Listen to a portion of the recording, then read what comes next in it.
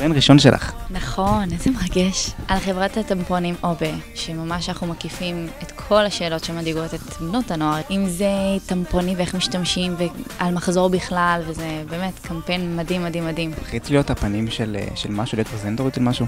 לא, זה דווקא מאוד מחמיא לי, במיוחד שזה לנוער, זה, אתה יודע, זה כמו להיות אה, מין מורת דרך שלהם, טמפונים זה חשוב. אני פד וטמפון ותמשיכי הלאה. תשימי פד וטמפון ותמשיכי הלאה.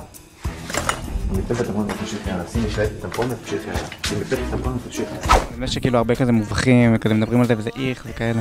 כן, זה בטח בקרב הגילאים ממש הקטנים, אבל אה, אני חושבת שצריך להיות, אתה יודע, הכי פתוחה, זה, זה ביולוגית, זה קורה, אין מה לעשות.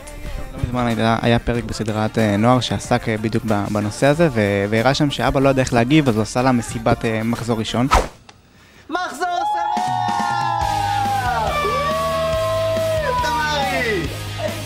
תהרגו אותי? עכשיו! אני המחזור הראשון שלי קיבלתי בגיל ממש מאוחר, לקראת 16 וחצי, שבדרך כלל בנות מקבלות עד גיל 15. הייתי בטוחה שאני הכרה, והייתי בבית ספר הכל רגיל, פתאום חזרתי, אה, אוי, אמא, לא קרה, לא קרה, וואו, זה, זה, חגגנו את זה באיזה גלידה או משהו נראה לי. יש הרבה סטיגמות, אה, עצבים וכאלה, זה נכון כל? אני אוכלת מלא. מה הדבר הכי מופרך שאומרים על אה, מישהי במחזור? אני צריכה לדבר על זה עם חבר שלי. הוא, יגיד הכל, היא מפלצת. סתם, אולי חסרת סבלנות. פה בצילומים, ואנחנו מחכים לעוד צילומים של משהו אחר. נראה לי שאת יודעת למה.